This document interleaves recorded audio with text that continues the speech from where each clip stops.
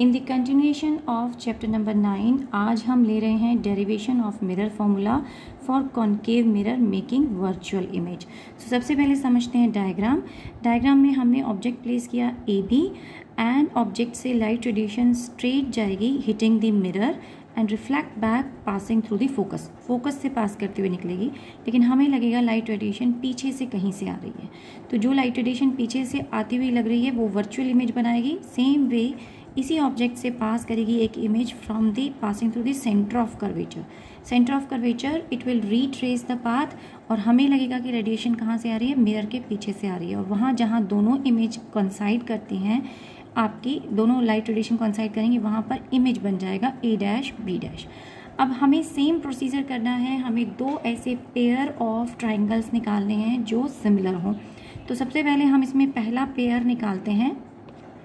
First pair is this triangle that is MFP and another pair is the bigger one triangle that is A dash F and B dash ये दोनों ही triangles जो हैं ये similar prove कर सकते हैं हम कैसे this B dash is 90 this P is also 90 but and F angle is your common angle so let us write in triangle A dash F and FB dash and triangle MFP इस triangle के अंदर दोनों angles 90 हैं angle P and B dash is 90 degree and your F angle is common.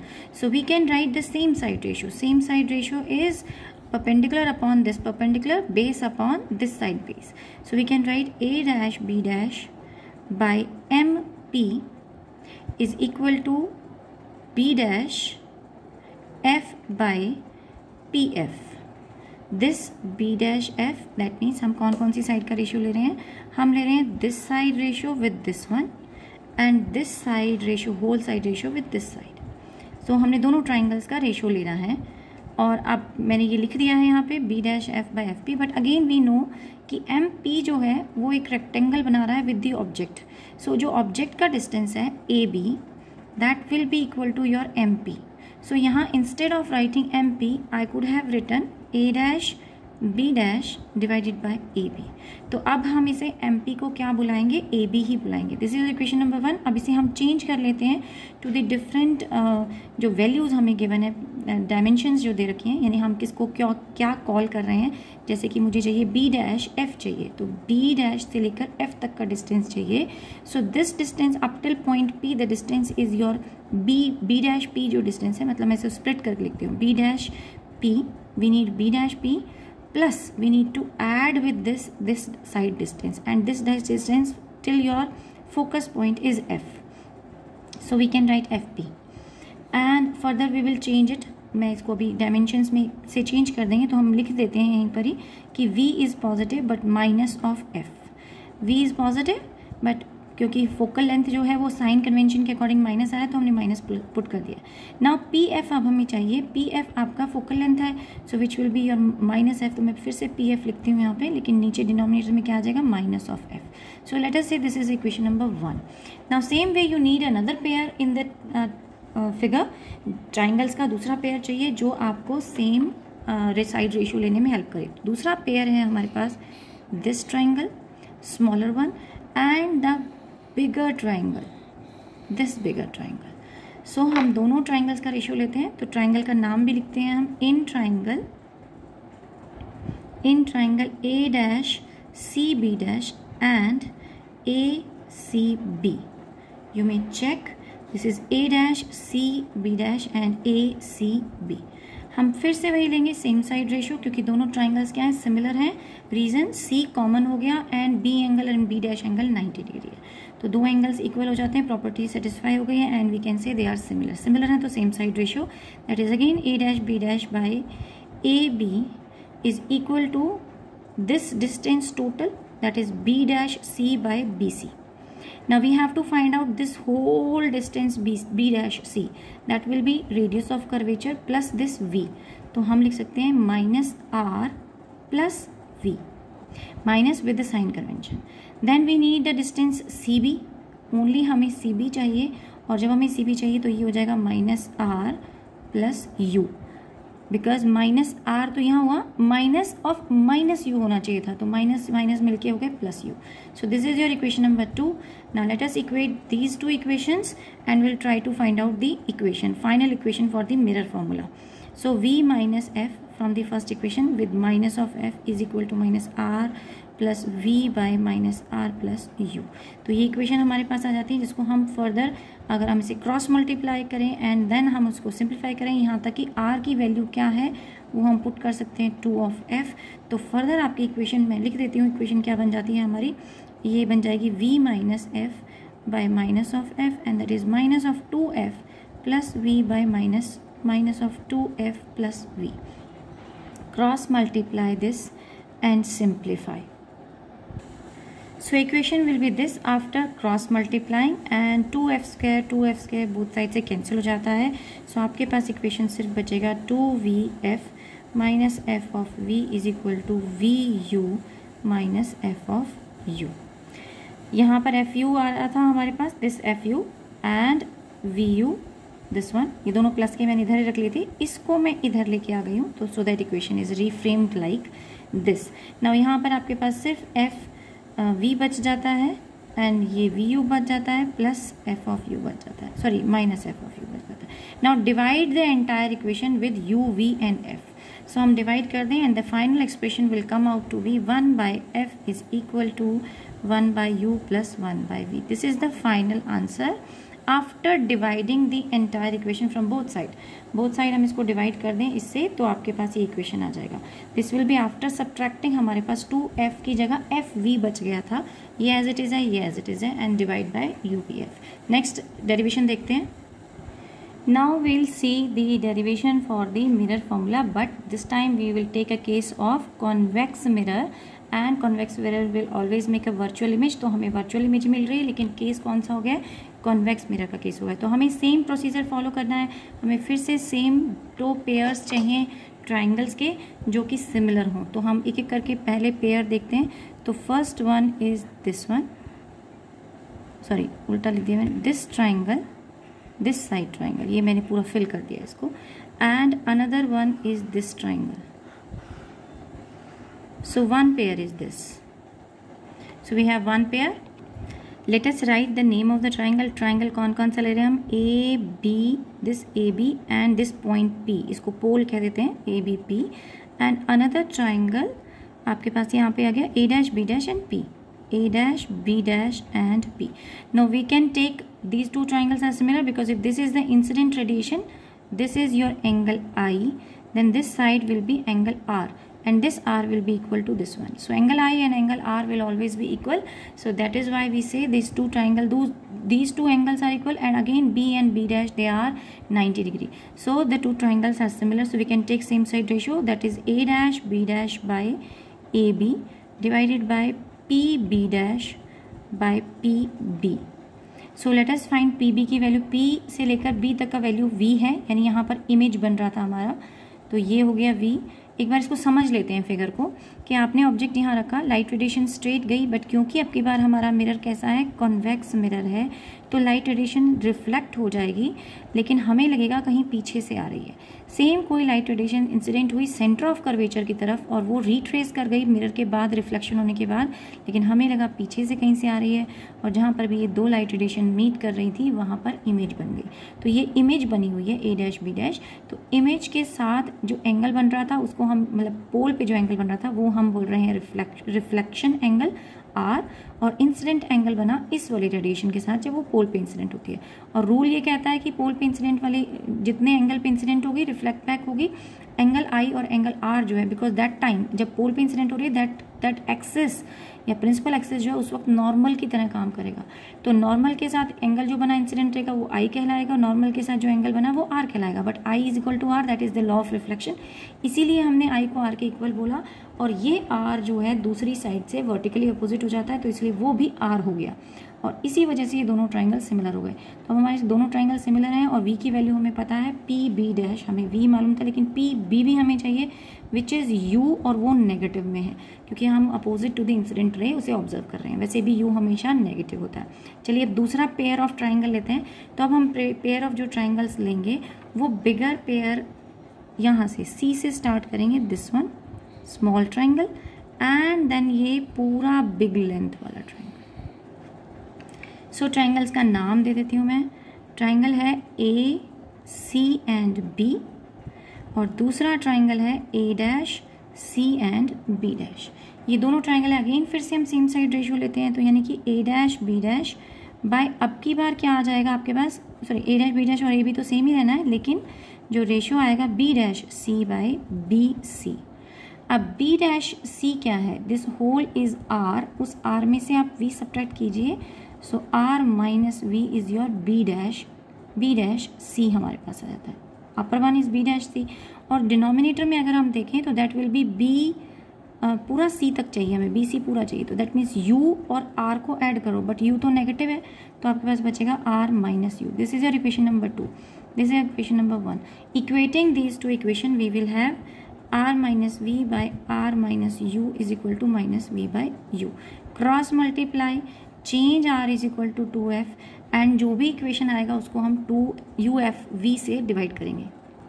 So here I have cross multiplied and then we'll divide by U V F और R को two F place करना है। तो अगर चाहें तो हम इसी इक्वेशन में प्लेस करते हैं but I am directly writing the expression one by F किसके बराबर आएगा? One by V plus one by U plus आता है तो आगे पीछे कुछ भी लिख सकते हो नो प्रॉब्लम ऐसी डेरिवेशंस में लेट मी टेल यू हमें पता होता है कि हमारा फाइनल आंसर यही आएगा। तो बीच का एक या दो स्टेप हम मिस कर सकते हैं।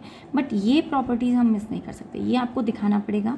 रे डायग्राम दिखाना पड़ेगा पूरा प्रॉपरली लेकिन हाँ ये कैलकुलेशन पार्ट जैसे मैंने यहाँ पर दो स्टेप मिस कर दिए, ये बताकर कि यू वी एफ़ से डिवाइड करेंगे। मैंने करके नहीं देखा बट मैंने डायरेक्टली आंसर लिखा।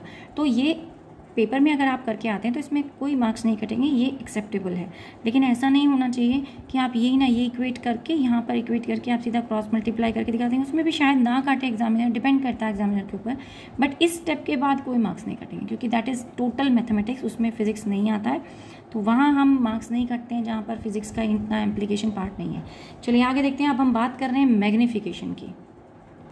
It is defined as ratio of the height of the image to the height of the object and we can write the relation m is equal to height of image to height of object. ये relationship हमारे पास आता है, लेकिन अगर हम इसे concave mirror के लिए केस एक ले लेते हैं और उसके लिए डराइव करके देखते हैं तो ये मैं डायग्राम यूज़ कर रही हूँ। ये पिछली क्लास में हमने इस डायग्राम को यूज़ किया था। और कब निकाला था हमने? रियल इमेज के लिए मैग्नीफिकेशन नहीं, बल्कि हमने मिरर फॉर्मूला निकाला था यूजिंग दैट तो अब इसे हम मैग्नीफिकेशन निकालने के लिए यूज़ करते हैं। तो क्योंकि ये और ये ट्राइंगल सिमिलर हो गए थे तो we can take this side by this side divided by this side upon this side तो यानी जो रिलेशनशिप था, कौन सा? दिस रिलेशनशिप ये हमने लास्ट क्लास में यूज़ किया था, ये हम दोबारा यूज़ कर रहे हैं। तो ये रिलेशनशिप हम यूज़ करेंगे, लेकिन अब की बार A A dash A dash B dash क्या चीज़ है? ये आपकी हाइट ऑफ़ इमेज है। तो हम यहाँ लिख सकते हैं इसकी जगह पर height of image and A B क्या है? वो आपका ऑब्जेक्ट का हाइट है। वो लिख सकते हैं height of object but by convention height of image क्या होना चाहिए? नेगेटिव होना चाहिए। सो so, चलिए अब इसे हम रीडू कर देते हैं अपनी करंट वीडियो में जहाँ हम इसे यूज़ करेंगे। तो हमारे पास रिलेशनशिप था A dash B dash by A B और इसको हम लिख सकते हैं height of image to the height of object image inverted था that is why we wrote this और फिर जो रिलेशनशिप दूसरी तरफ़ आ रहा था, वो हमारे पास था, जो पॉइंट्स के हिसाब से आ रहा था let me check it again या this is B dash P या this is B dash P by B P so so, अब ज़रूरत नहीं है वैसे उसकी लेकिन हमने सीधा लिख रही हूँ मैं minus V by minus U आ जाएगा। सो so, ये रिलेशनशिप आया था अब यहाँ माइनस माइनस इसमें तो कट गया लेकिन इसका बचेगा तो यानी मैग्नीफिकेशन को हम कह सकते हैं height of image to the height of object is equal to minus V by U so that is why V से कि मैग्नीफिकेशन मिरर्स के केस में नेगेटिव आती है क्योंकि यहाँ तो मिरर एक साइड तो कैंसिल हो गए minus symbols but height of image का negative symbol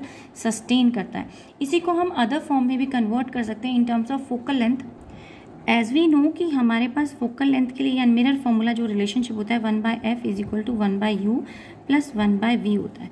So if I want to define M in terms of U and F U और एफ़ की टर्म्स में मुझे चाहिए तो then what will I do I will divide both side multiply both side of this equation ये one by F one by U one by V वाली equation को दोनों तरफ़ हम u से मल्टीप्लाई करते हैं। तो अगर मैं u से मल्टीप्लाई करूँगी तो this side it will become u by F is u by U is one plus this is U by V relationship will take this form but हमें पता है कि मैग्निफिकेशन तो वी बाई यू होता है, यानी इसका रिवर्स होता है।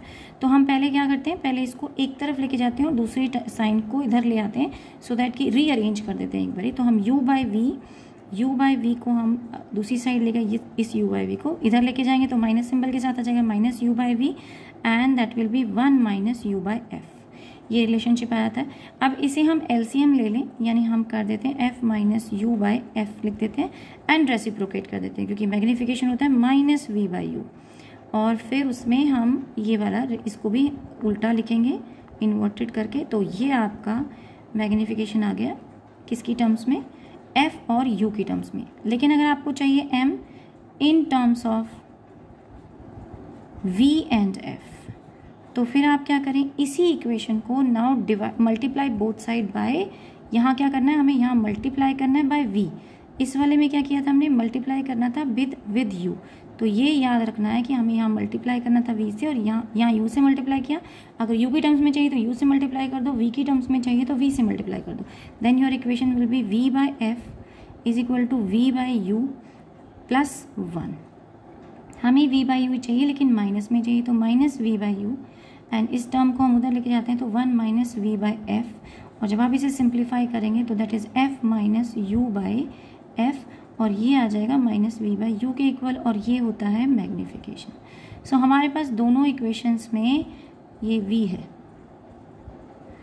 एफ़ माइनस वी तो वी था वी के टर्म्स में आया। तो हमें दोनों इक्वेशंस में यानी हमने मैग्नीफिकेशन को कन्वर्ट कर दिया। इस पर बेस्ड न्यूमेरिकल एक बार पूछा गया है सीबीएसई में मतलब जस्ट कन्वर्ट कराने के बाद। आगे देखते हैं। ना मिरर्स के अंदर कुछ डिफेक्ट्स होते हैं, जिसमें पहला डिफेक्ट आता है स्फेरिकल एब्रेशंस स्फेरिकल एब्रेशंस का मतलब होता है inability of this spherical mirror जिसका लार्ज अपर्चर हो, वो एक ही कॉमन पॉइंट पर सारी लाइट एडिशंस को इमर्ज नहीं कराता, यानी कि वहाँ पर कंसनट्रेट नहीं कराएगा कंसाइड नहीं करेंगे इमेजेस एक पॉइंट पर, बल्कि अलग अलग फोकस मिलेंगे। तो नॉर्मली क्या होने चाहिए? फोकस पॉइंट फोकल पॉइंट एक ही होना चाहिए। सारी लाइट रेडिएशंस आएँ, वो सेम ही फोकल लेंथ पर जाकर मीट करें और उसी को हम फोकस बोलते हैं। लेकिन जब ऐसा नहीं होता तो अब हम बोलते हैं कि इसके अंदर कौन सा एब्रेशन है स्फेरिकल एब्रेशन है। ये एब्रेशंस ज़्यादातर ऐसे अपर्चर्स में आती हैं जो काफ़ी लार्ज हैं। इसलिए स्मॉल अपर्चर के मिरर्स जो हैं वो प्रेफर किए जाते हैं, जिनका फोकस कहाँ हो? सिंगल पॉइंट पर हो। लेकिन अगर आपको लार्ज अपर्चर चाहिए तो आप rather then using the concave shape आप पैराबॉलिक मिरर्स यूज़ करके उस, इस एरर को मिनिमाइज कर सकते हैं। या फिर हम ऑन द वे कहीं पर, जैसे जब लाइट रेडिएशन रिफ्लेक्ट होके जा रही है और हमें पता है किसी और पॉइंट पे फोकस करेगी तो वहाँ हम स्टॉपर लगा देते हैं और उस पर्टिकुलर लाइट रेडिएशन को स्टॉप कर देते हैं कि वो ना पहुँचे सो दैट कि एक नया फोकस क्रिएट हो और नई जगह पे इमेज बन जाए। ऐसा ना हो, इसके लिए हम कुछ बीच में स्टॉपर्स भी लगा सकते हैं। तो यहाँ मैंने पॉइंट्स लिखे हैं कि स्फेरिकल मिरर स्मॉल अपर्चर की होनी चाहिए पैराबोलिक कर्व यूज़ होना चाहिए, या फिर हम उसे में स्टॉपर्स लगाएँ मार्जिनल रेज को कट ऑफ़ करने के लिए। जो भी जो भी एजेस पे आ रही हैं, जो लार्ज अमाउंट में फोकस से दूर जा रही हैं, ऐसी इमेजेस को शॉर्ट करने के लिए। एक और एब्रेशन कहलाता है, वैसे ही एब्रेशन मिरर्स में नहीं होता, ये लेंसेज में ज़्यादा होता है, क्योंकि लेंसेज में आपको डिफरेंट कलर्स मिलते हैं। तो डिफरेंट कलर रेडिएशन जो हैं, अगर वो डिफरेंट पॉइंट पे फोकस करती हैं तो उसे हम क्रोमेटिक एवरेशन बोलते हैं। लेकिन वो यहाँ नहीं है। मैंने यहाँ शो कर दिया क्रोमेटिक एवरेशन क्योंकि दो ही टाइप होती हैं एवरेशन की स्फेरिकल एंड क्रोमेटिक लेकिन स्फेरिकल एवरेशन मिरर में होती है सिर्फ़ क्रोमेटिक एवरेशन मिरर और lenses sorry chrome spherical aberration mirror and lenses दोनों में होगी, लेकिन क्रोमेटिक सिर्फ़ लेंसेज में होगी, क्योंकि लेंसेज में you can split them in different colours हाँ अगर आपने लाइट रेडिएशन में, यानी कि मिरर के ऊपर भी आपने अलग अलग कलर्स आपने डाले हैं लाइट रेडिएशन के तो ऑब्वियसली आप डिफरेंट वेवलेंथ्स डाल रहे हैं तो वो तो फिर फोकस उनका अलग अलग ही होना था। तो उस केस को हम क्रोमेटिक एब्रेशन नहीं बोलते हैं, बल्कि वो एक सिंपल है कि different coloured wavelength will be concentrating at the different point तो डिफरेंट फोकस वो क्रिएट करेंगी, क्योंकि उनकी वेवलेंथ ही अलग अलग हो गई है। चलिए बात कर लेते हैं कि मिरर्स कहाँ कहाँ यूज़ होते हैं। तो ये आपने टेंथ में पढ़ा हुआ है शेविंग मिरर की तरह यूज़ होते हैं मेकअप मिरर की तरह यूज़ होते हैं डॉक्टर्स यूज़ करते हैं रिफ्लेक्टर्स की तरह यूज़ होते हैं। ये सब कनकेव मिरर के यूजेज हैं convex mirror rear view mirror की तरह यूज़ होते हैं, क्योंकि लार्ज इसका फ़ील्ड ऑफ़ व्यू होता है। पॉइंट्स हैं मैग्नीफिकेशन के, ये भी क्विक ब्रीफ पॉइंट्स हैं। अगर मैग्नीफिकेशन का मैग्नीट्यूड ग्रेटर देन वन हो, इसका मतलब मैग्नीफाइड इमेज बन रही है लेस देन वन है तो डिमिनिश्ड बन रही है। और अगर इक्वल है तो इसका मतलब सेम साइज़ बन रही है। अगर आपकी मैग्नीफिकेशन पॉजिटिव आ रही है, इसका मतलब आप वर्चुअल इमेज बना रहे हो, और अगर नेगेटिव आ रही है तो रियल एंड इन्वर्टेड इमेज बन रही है। यूनिट नहीं होती मैग्नीफिकेशन की, क्योंकि ये कैसा क्वांटिटी है, इसको हम रेशो से लेते हैं। यानी हाइट ऑफ़ इमेज वो भी मीटर में और हाइट ऑफ़ ऑब्जेक्ट तो वो भी मीटर में तो दोनों का रेशो की वजह से कोई भी यूनिट नहीं आएगी। सो so, आज की क्लास के लिए इतना ही। नेक्स्ट क्लास में हम कुछ न्यूमेरिकल्स लेंगे पहले रिफ्लेक्शंस के एंड देन उसके बाद स्टार्ट करेंगे रिफ्लेक्शन थैंक यू